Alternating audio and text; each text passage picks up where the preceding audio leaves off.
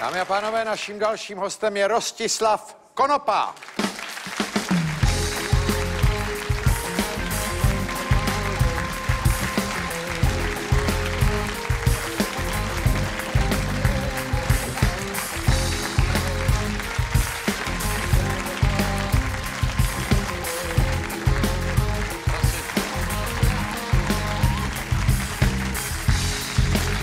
Haha,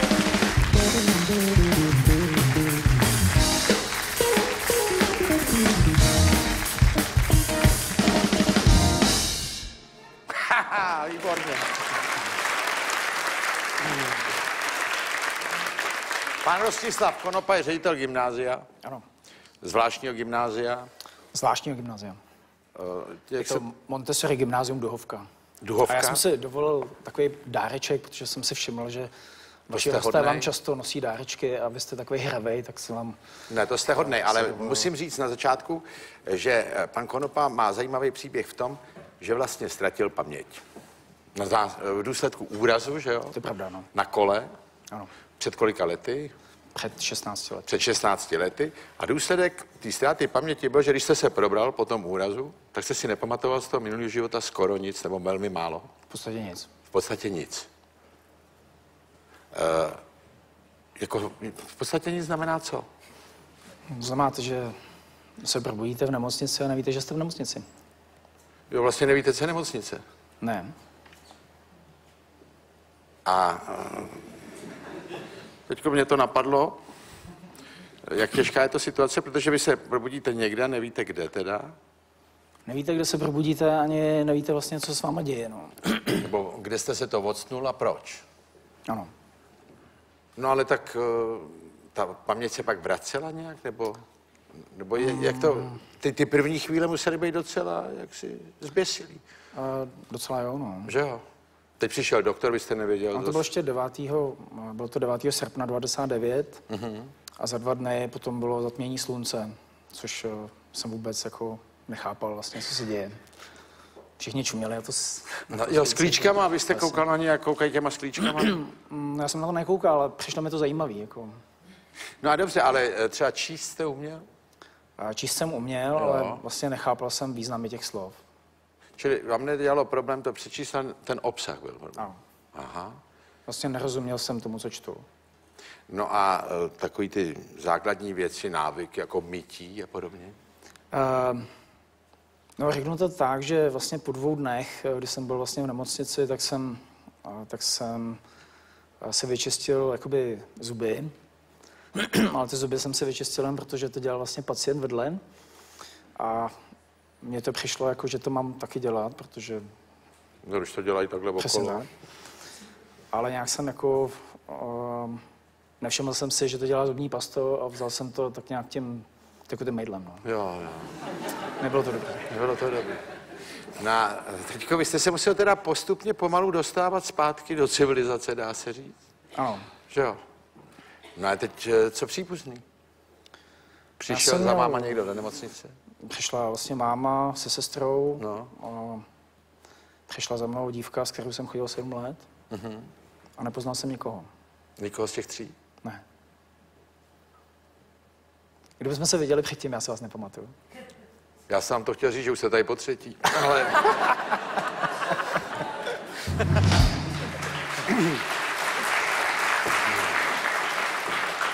že jste náš oblíbený host. Ale... Eh, dobře, a teďko... Jako, co, co začalo dřív? Třeba ten pojem té maminky, no tak jako, ona vám řekla, že je maminka, vy jste věděl, co to je za pojem, nebo... Ne. Ne. Jako uh, problém byl, že vlastně nikdo uh, z začátku nechápal, do jaký míry, Míry? jakoby tu paměť nemám, vlastně, že tam nemám nic. Jako. Jo, jo, oni to brali, že to je nějaký poúrazový stres nebo takovýho něco. Uh, tak já jsem měl těžký otřes mozku, tak jsem myslel, jako, že to je prostě důsledek. mozku. Jako. No, že to, to. No a ono teda postupně to zjistili? Museli. Já jsem prošel x jako vyšetřeníma, jako, mm-hmm. mm, ty byly různě legrační. Jo? No, protože já jsem sice ztratil paměť, ale eh, pamatoval jsem si po úrazu úplně všechno. Já Po jsem, úrazu? Ano. Aha. Já jsem No, jako, byste si to vyčistil, tak o to líp jste si to pamatoval. A pak jsem měl potíže vám právě jakoby s, eh, třeba když jsem mluvil s nějakým doktorem a um, vlastně používal jsem logiku, ale ta logika byla dost svérázná. Jo? Prostě Ano. byla postavená na základě toho, co uh, jsem si utvořil na základě toho, co jsem viděl, co jsem Ano. zažil a co nemělo vlastně nic společného někde s realitou. Ano. Jo, prostě byla to, jakoby, já tomu říkám logika, ale vlastně ta logika se skládala z různých jakoby, věcí. No a čili vy No. jste absolvoval ty vyšetření. Já jsem absolvoval ty vyšetření a, a vím, že mě třeba vyšetřoval psycholog a ten mi dával nějaký test a já ten test už jsem dělal v nemocnici a říkal jsem, no já jsem tenhle ten test dělal už. A on říkal, hm, no tak ho napíšete ještě jedno. A jsem říkal, no tak ale to asi nemá, jako, prostě když jsem ho dělal, že jo, tak už ho znám, že jo. Hm, hm, no ale já jiný test nemám. Já jsem říkal, no tak, tak já ho jako napíšu, a já už se ho pamatuju. Jo, od minula. No, no, no. A on mi potom napsal do diagnózy, že- že pacient se zdá být trochu podivínský. Jo. Trochu podivný. Trochu podivínský. To mám. Jako. No ale a prosím vás, třeba problém musela být teda oblast vztahu. Jste mluvil o té přítelkyni, Ano. pak jste ji nepoznal. Ne. No jak se to pak vyvíjelo? No, rozešli jsme se vlastně, my jsme... Jste se s ní rozešel jako s neznámou ženou vlastně. A, no, nemohli jsme vlastně navázat tam, kde jsme Tam, vlastně jste- přestali. No. A uh, prosím vás, vy tam prý máte nějaký příběh s prstínkem, že jste se probudil s prstínkem To je pravda, no. a nevěděl jste, co to je za prstínek. no. Já jsem vlastně, když jsem byl v nemocnici, uh, tak, jsem, tak jsem měl vlastně tenhle ten prstínek u sebe. No. Ten prstínek není můj. Aha, To můžu je se vlastně podívat? to snubní prstínek, eh, který jsem Já bych před 20 lety přečet, co tam je, ale... Ale je tam, je tam vyrytý jméno Karel Breicha. Karel Brejcha. Karel Breicha. Je tam datum 29.4.1933. To znamená, jestli tomu člověku bylo 20 let, když se bral, tak mu dneska, dneska mu bylo 103 let. No to to, znamená, asi že- neschání už jako. Je možný, že po smrti, možný jako, že by ho... No, ale třeba- počkejte, a vy jste to měl na ruce? Ne, já jsem ho měl v kapse. V kapse. Jak se vám tam dostal? Uh, To nevím. já vím, že jsem ten, ten prstínek našel několik měsíců vlastně uh, toho roku předtím, protože jsem si vlastně vedl nějaký deníky. Aha. A mm, tohle to vlastně tam mám poznamenaný, že jsem ho našel někdy v květnu v roce 99. Že Ale ten úraz se stal v srpnu. Aha. A Takže vy, mám takovou teorii, že jsem našel majitele a jel jsem ho vrátit, ale to já nevím, Aha, teďka to po teď 16 nevíte. letech. Čili, ale vy byste teda chtěl vědět, Bylo by skvělý ho vrátit po těch 16 letech. vrátit ho. Mm. Čili pokud... Tak je, víte co, jako je to vlastně... Um, znáte někoho takového? Ne, Ukažte. neznám, ale jako Ne, je, to, je co, to je kuriozní výzva. No ne, je, Je, to, je, existuje-li někdo, kdo... existuje někdo, kdo jakoby toho člověka zná, nebo zná prostě příběh toho prstínku? Příběh toho prstínku? Vy Kde víte- je Karel Brejcha, teda říkáte, napsáno? Ano. Na to? A letopočet 1933? 29.4.1933. Tři. Tak ať se nám pozve. Hledáme prstínek. No ale dobře, vy jste se s tím ale uh, probral v té nemocnici. Ano. Tohle jste zjistil zpětně ze svých deníků, který jste si předtím psal. Ano. Jinak jste to nevěděl. Tak třeba to najdeme. Na to navázání těch dalších věcí, třeba, já nevím, pak jste teda viděl televizi, rádio. Já jsem nemohl spát po tom úrazu a dlouho jsem doma vlastně sledoval tu televizi, tu jsem objevil, že jo, stejně jako v té nemocnici. Že jsem koukal na ty seriály prostě od, od rána do večera, prostě to mě fascinovalo. Hmm. Ale pak jsem vlastně se setkal s těma kamarádama, kteří věděli, že už jsem doma. A teď jsem jim říkal, jako, že, že vůbec nechápu, jak v tom světě můžou žít, jako, že to je prostě tragédie. Že to je strašný, co Že se to je děje. strašný prostě, no. Že jsem si myslel, že, jako, že ty realita. lidi vlastně jakoby v těch seriálech umírají, že jo, jako fakticky. Jo. Oni to byli herci, jako. Ano. A vy jste to bral jako obraz reálného světa? No a oni začali válet po zemi a říkali, Ježíš Maria, ty vole, to jsou prostě herci. Jo, to je jako. Přesně tak, no. A já jsem To říkal, je jako Maseu, kdyby tam dali televizi. já jsem říkal, jako, jak herci? A no, oni mají ketchup, chápeš, to prostě, to, To není to je krev, bez- to je ketchup. to Ve scénáři prostě, to No, jako, Jakým scénáři? No, to mi vysvětlili, že ten film se skládá z nějakých Jo. jakoby, dílů, že jo. A pak jste- jsme ale spolu nemohli chodit na filmy, že jo, protože jsme šli na nějakýho bonda, že jo, vy jste tam kousali nechty prostě nad něčím a já jsem říkal, kluci, co blbnete, to je ve scénáři. To je ve scénáři.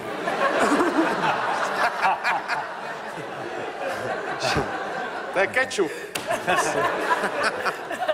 Že No ale tak na druhou stranu, vlastně naprosto logicky jste si ten život dával dohromady, že jo, No ale, scénář. ne, ale on je, eh, najednou se mi zdá ohromný, pane Konopo, teda je obdivuhodný, jak si, že se vám povedlo se zcela bez problémů, nebo vrátit do zcela bezproblémového života, ne? Tak on to úplně jako bez problémů nebylo, ale No ne, ale tak trvalo to jistě, dlouho to trvalo, takový ten základ, tak nejhorší byly asi ty první tři roky, no. tři roky. Ale vy jste prošel vlastně takovým zvláštním učením se v dospělosti, takže možná ta škola je přesně to místo, kam patříte. Jo, já vždycky říkám mým studentům, že jim rozumím, protože mi je 16 vlastně. Jo, že, že tam máte tu přestávku. A neměli oni někdy podezření, že si to vymýšlíte? Jo, jasně, to Že jo? taky bylo. No. Já bych měl hned roupy. Hele, nedělej pořád. Podívej se pořádně. Asi tak. A, a někoho jste si vybavil, nebo, nebo vůbec nic? Ne. Zeď. Nevybavil jsem se nic. Nic. Mně se teda jako z, uh, zdály se mi věci ve snech. Aha. To bylo docela zajímavý. Uh, nedlouho vlastně po tom úrazu jakoby se mi jednu dobu zdály ty věci ve snech. To znamená, že jsem, se mi něco zdálo a teď jsem ten příběh vlastně, co se mi zdálo, jsem vyprávěl jakoby těm kámošům a říkali, jo, to jsme byli tamhle. Prostě jsem říkal, super, už se mi to vrací. Už se vám to vrací? Vlastně, jenomže pak se mi zdál třeba sen, kdy jsem pronásledoval někoho v lese a zabil jsem ho. Čili to To jste, jsem jako, jste si říkal, tohle se nemuselo vracet, tohle. tohle. jsem jako, no tak znejistíte, že jo. Jo, jo. Je to takový hnusný pocit asi. No dobře, a třeba počítání, matematika, peníze. Uh, no zapomněl jsem pin, že jo, prostě ke kartě.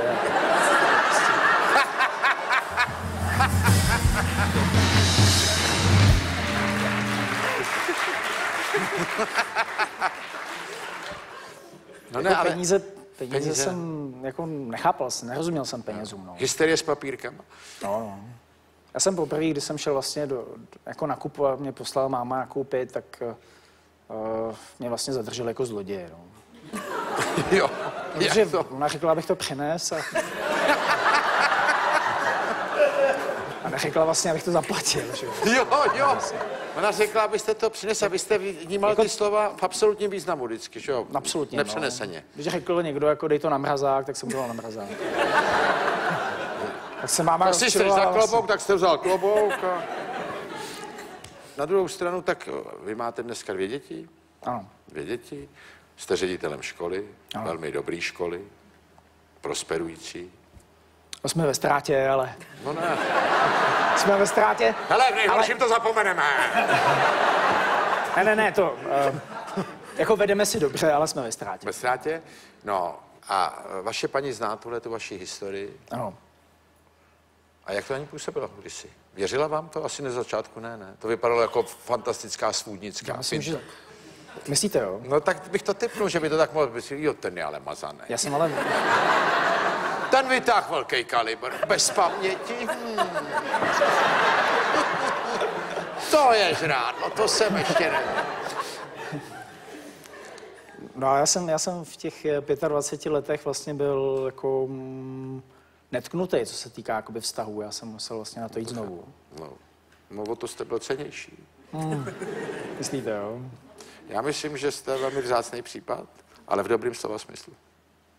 Děkuju. Rostislav Konopa.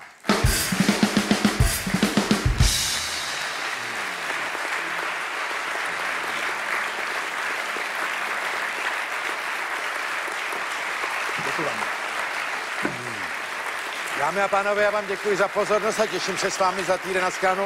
Buď tady v divadle Archa nebo u televizních obrazovek a mějte se krásně.